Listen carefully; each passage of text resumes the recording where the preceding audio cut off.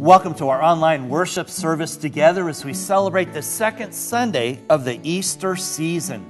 Earlier this week, Cynthia sent out the order of worship to follow along at home.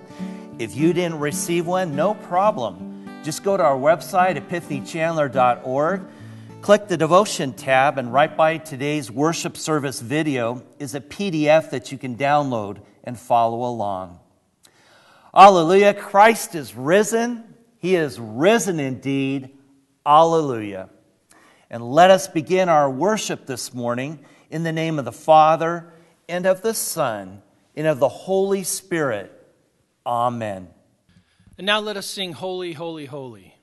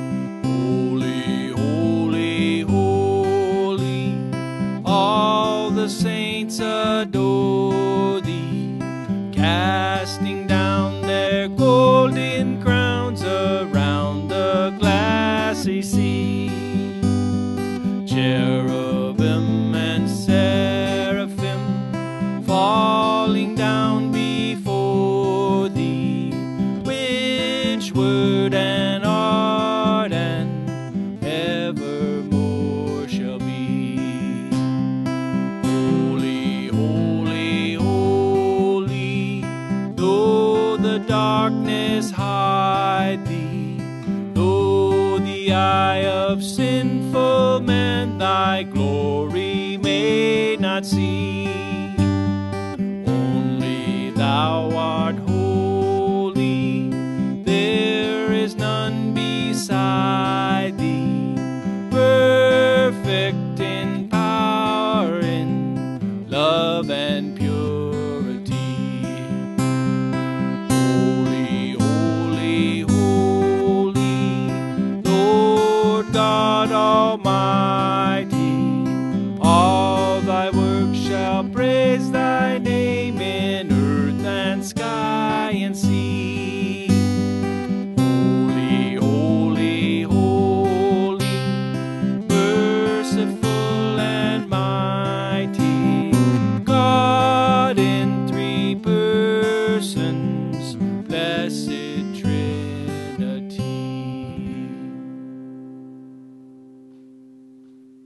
If we say we have no sin, we deceive ourselves and the truth is not in us.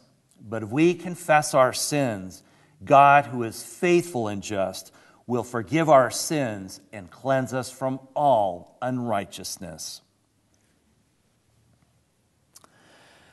Let us then confess our sins to God our Father. Most merciful God, we confess that we are by nature sinful and unclean.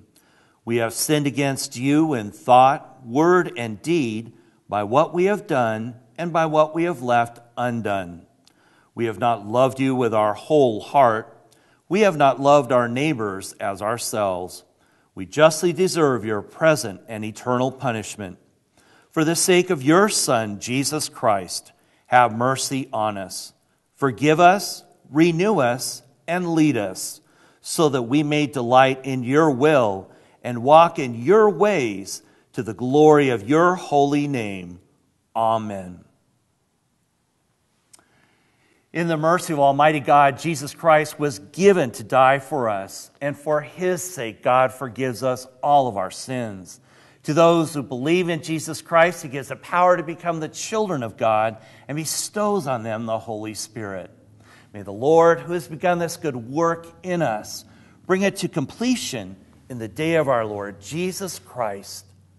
Amen. I invite you to bow your heads for our opening prayer. Almighty God, grant that we who have celebrated the Lord's resurrection may, by your grace, confess in our life and conversation that Jesus is Lord and God. Through the same Jesus Christ, your Son, who lives and reigns with you in the Holy Spirit, one God, now and forever. Amen. The epistle for the second Sunday of Easter is from 1 Peter chapter 1 verses 3 through 9. Praise be to the God and Father of our Lord Jesus Christ. In his great mercy, he has given us new birth into a living hope through the resurrection of Jesus Christ from the dead, and into an inheritance that can never perish, spoil, or fade this is the inheritance kept in heaven for you, who through faith are shielded by God's power until the coming of the salvation that is ready to be revealed in the last time. In all this you greatly rejoice, though now for a little while you may have to suffer grief in all kinds of trials. These have come so that the proven genuineness of your faith, of greater worth than gold, which perishes even though it's refined by fire, may result in praise, glory, and honor when Jesus Christ is revealed. Though you have not seen him, you love him. Even though you do not see him now, you believe in him and are filled with an inexpressible and glorious joy. For you are receiving the end result of your faith, the salvation of your souls. And this is the word of the Lord. Our gospel is from the 20th chapter of John, verses 19 through 31. On the evening of that first day of the week, when the disciples were together, with the doors locked for fear of the Jewish leaders, Jesus came and stood among them and said, Peace be with you. After he said this, he showed them his hands and his side. The disciples were overjoyed when they saw the Lord.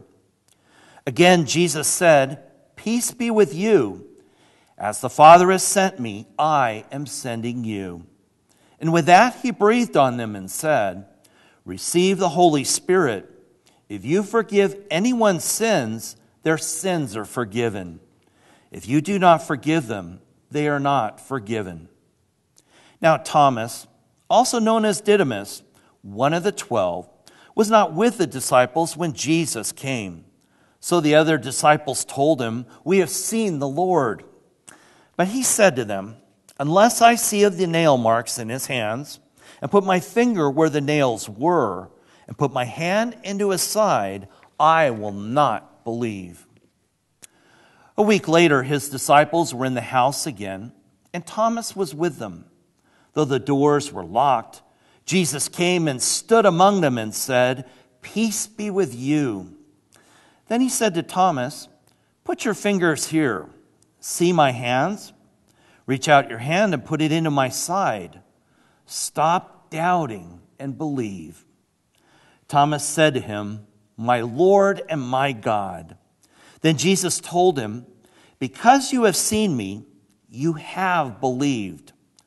Blessed are those who have not seen and yet have believed.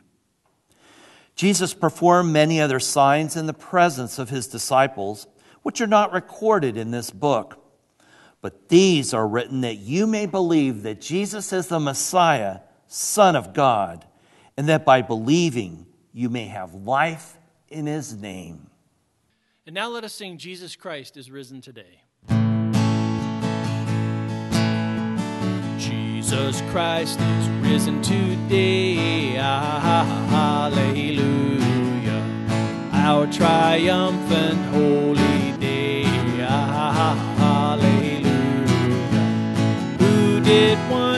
upon the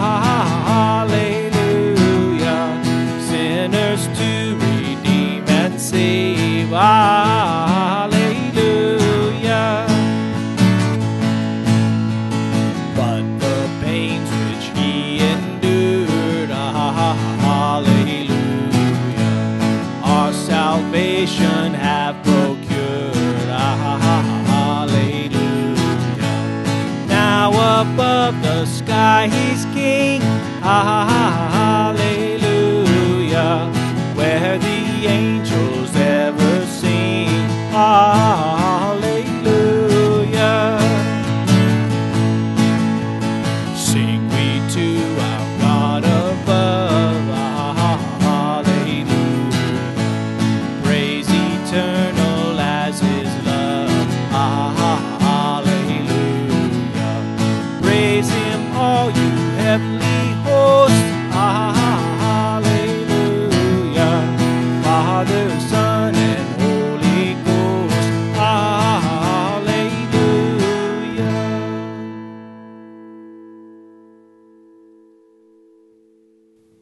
Words of my mouth and the meditation of my heart be pleasing in your sight, O Lord, my rock and my redeemer.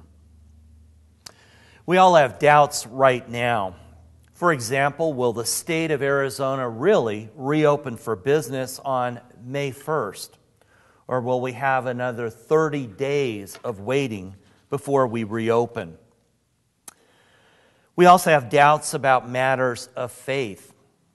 But we shouldn't be afraid of those doubts. And today's gospel teaches us that. One day, Martin Luther was asked this question Why do we more readily believe Satan when he terrifies than Christ when he consoles? Luther replied, Because we are better equipped to doubt than hope. Because hope comes from the Spirit of God but despair and doubts come from our own spirit. Luther's talking about our sinful nature and how we default to doubting rather than looking to God and His peace and hope when we doubt. As sinners and saints in Christ, we should expect doubts to arise in our lives. However, we should never leave them alone. Every doubt needs to be dealt with. And today's gospel highlights three things that we can do that are helpful and important when doubts arise. Today's gospel reading is where that term doubting Thomas arises from. But I think Thomas is unfairly treated. For instance, in John chapter 11, verses 14 through 16, we read this So then he, that's Jesus, told them plainly, Lazarus is dead, and for your sake I was not there, so that you may believe. But let us go to him. Then Thomas, called Didymus, said to the rest of the disciples, Let us also go, that we may die with him. In the last days leading up to Christ's crucifixion on the cross, Thomas had great confidence in the Lord and was courageous in front of the other disciples. But do you also realize that Thomas was not the only disciples, one of the disciples, I should say, who had doubts? Let's turn to another event that takes place immediately before Christ's ascension into heaven. In Matthew chapter 28, verses 16 through 17, we read this. Then the eleven disciples went to Galilee, to the mountain where Jesus had told them to go. When they saw him, they worshiped him, but some doubted. Even after 40 days of Jesus' post resurrection appearances, the disciples worshiped him, but some doubted. Thomas certainly had doubts. He was not in the room with the other disciples when Jesus made his first appearance. He was not prepared to believe that Jesus had actually arisen from the dead. But the Bible is clear that other disciples had doubts too. Doubts are contagious, and they lead to fear and even panic. Here's how today's gospel begins in John chapter 20, verse 19. On the evening of that first day of the week, when the disciples were together with the doors locked for fear of the Jewish leaders, doubt about Jesus' re- resurrection had turned into fear and then to panic among the 10 men. And that's even more contagious than the coronavirus. But fortunately for the disciples, their doubts are calm because Jesus appears to the ten of them. And this is the first important point in dealing with any doubts we have. When we are doubting, connecting with Jesus is the way to resolve them. Why? Because Jesus brings peace just like he did to those disciples when he appeared to them. Three times in today's gospel, Jesus says, Peace be with you. When we have peace, we don't have doubt, we don't experience fear, and we don't panic. Now, we all know in our heads that Jesus is with us all the time during this pandemic. However, when doubts arise, we default to our sinful nature and try to resolve them with reason or logic or emotions. Now, sometimes that does work. Imagine that your spouse is angry with you when he or she left from work, but greets you with a long kiss and a tight hug when they come home. But when you're experiencing difficult times like the coronavirus pandemic, or suddenly you find out that you were exposed to someone with the virus, reason, logic, and emotions don't help because they all are going to lead to fear, doubt, and panic. So, how do you get Jesus' peace during times of doubt, fear, and panic? Well, first, let's use our computers. Google this doubt, fear, or panic, and what the Bible has to say about it. God's Word has plenty to say when we have a crisis of faith. Go to God in prayer. That's the second thing you can do in that situation. Watch our daily devotions and participate in our Sunday worship services. And then the fourth thing we can do is talk with another mature Christian, somebody whose advice you've learned to count on.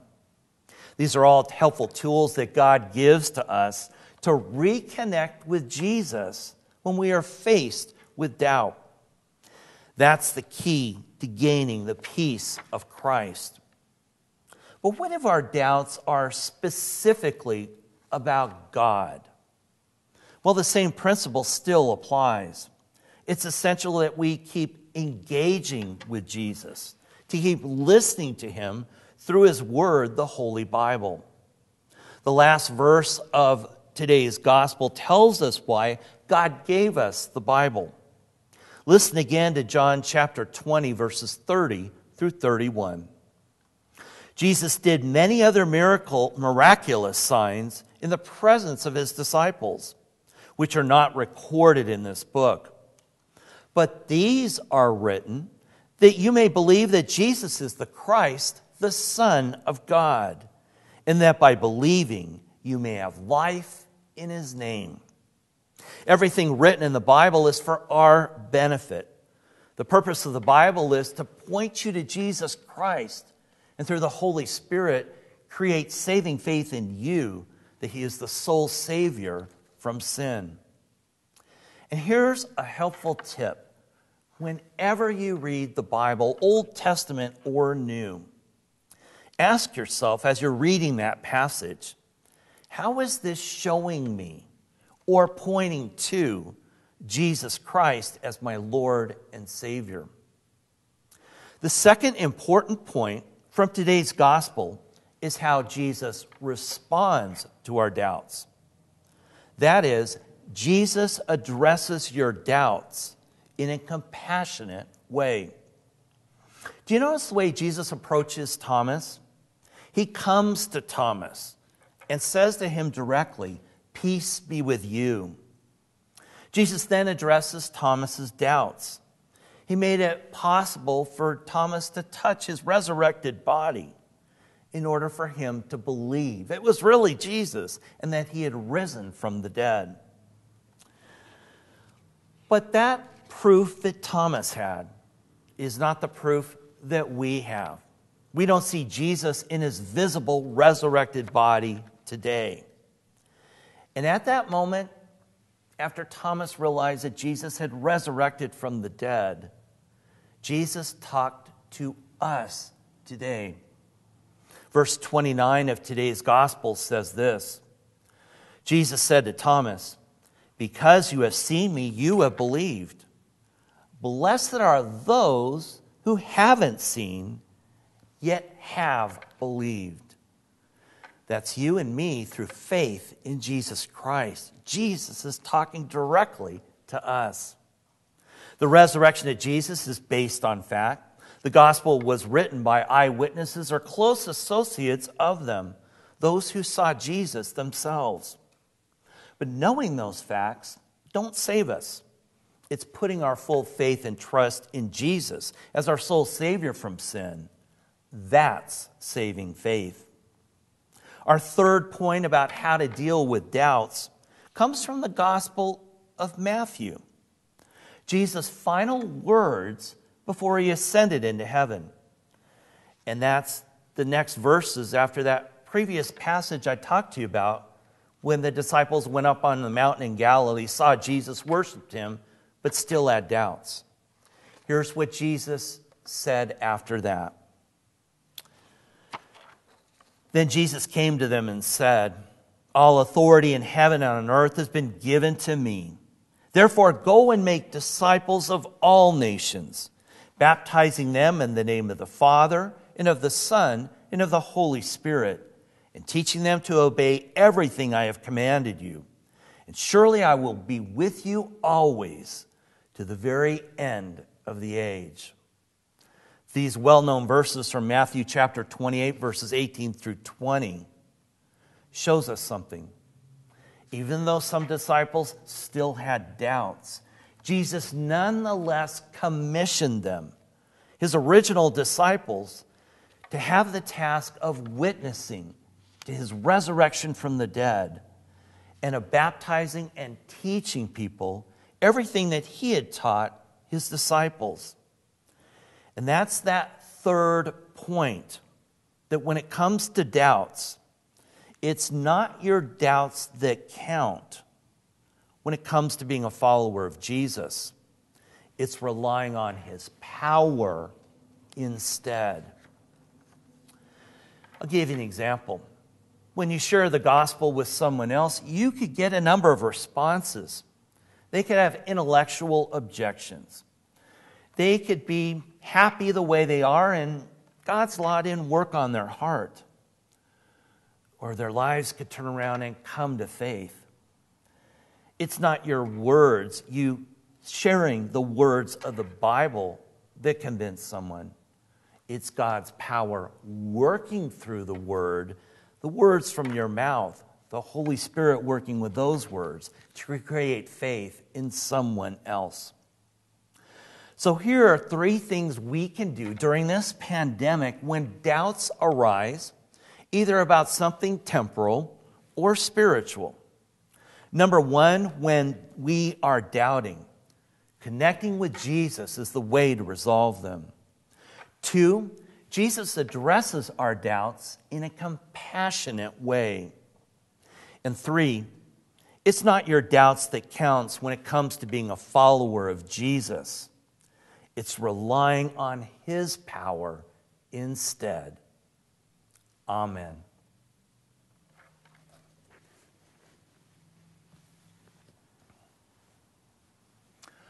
I invite you to join me in professing our Christian faith using the words of the Apostles' Creed. I believe in God the Father Almighty, maker of heaven and earth, and in Jesus Christ, his only Son, our Lord who was conceived by the Holy Spirit, born of the Virgin Mary, suffered under Pontius Pilate, was crucified, died, and was buried. He descended into hell. The third day he rose again from the dead. He ascended into heaven and sits at the right hand of God the Father Almighty. From thence he will come to judge the living and the dead. I believe in the Holy Spirit, the holy Christian church, the communion of saints the forgiveness of sins, the resurrection of the body, and the life everlasting. Amen. And at this point in today's service, if we had gathered together in the sanctuary, we would have received our offering for our resurrected Lord's mission and ministry through Epiphany. And I want to tell you, thank you so much for adjusting to new ways to giving to Epiphany Lutheran Church so that the Lord's ministry is ready when we all gather together once again in His sanctuary.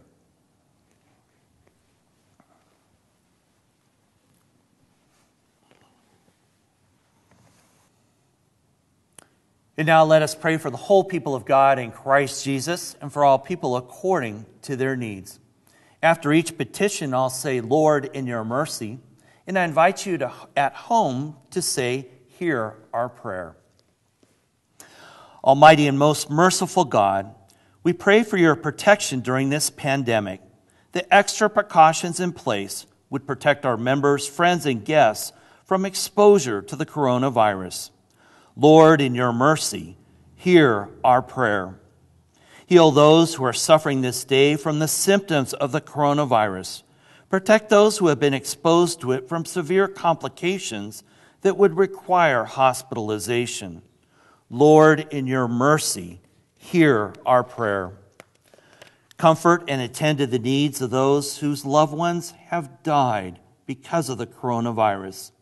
May their Christian friends and family members share the good news of the resurrected Lord and eternal life through him, that it may bring the peace that passes all understanding to their lives.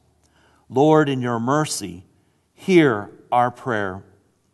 May the effect of Governor Doug Ducey's executive order dramatically decrease the number of coronavirus cases in Arizona.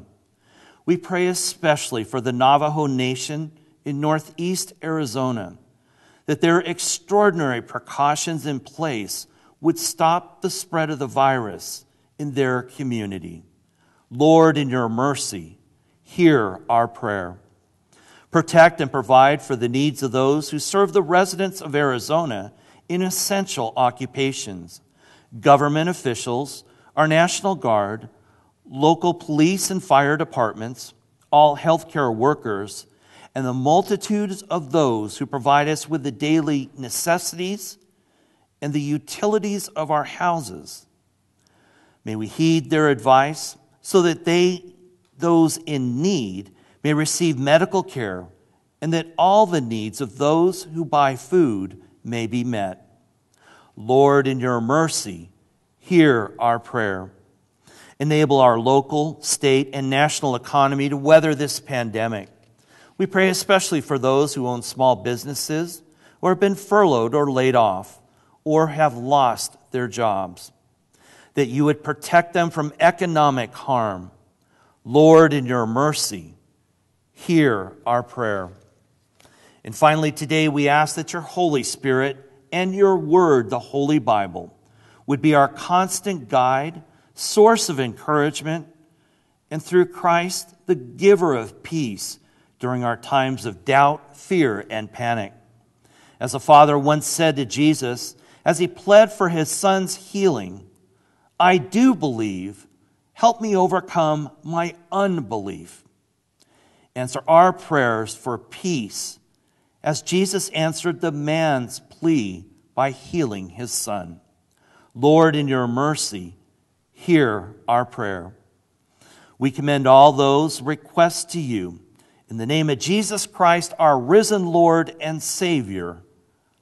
Amen. Our Father, who art in heaven, hallowed be thy name. Thy kingdom come, thy will be done on earth as it is in heaven. Give us this day our daily bread, and forgive us our trespasses, as we forgive those who trespass against us. And lead us not into temptation but deliver us from evil. For thine is the kingdom, and the power, and the glory, forever and ever. Amen. And now let us sing I Love to Tell the Story.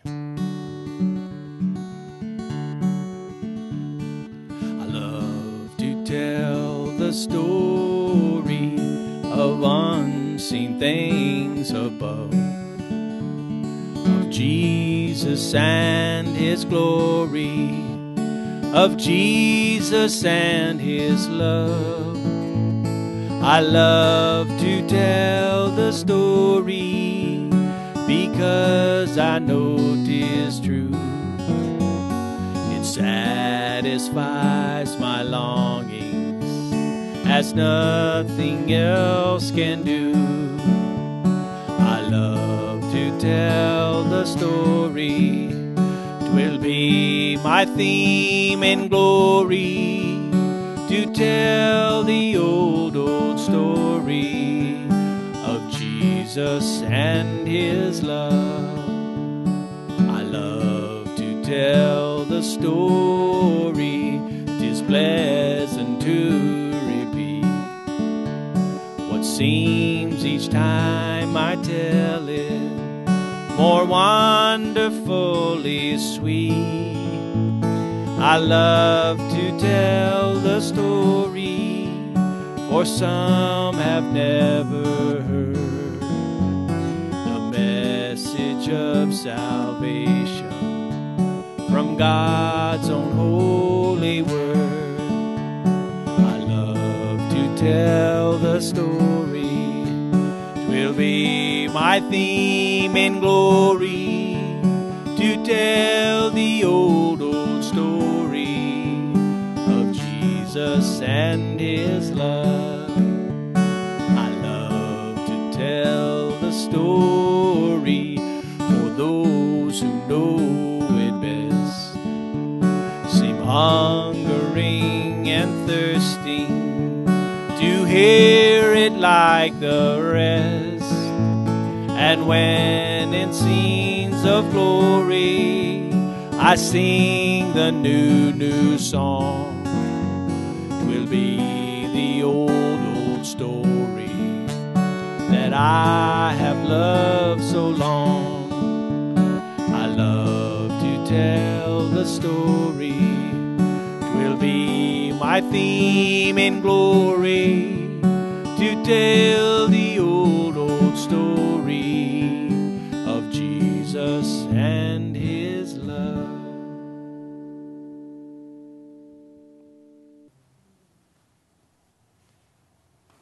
Alleluia. Christ is risen.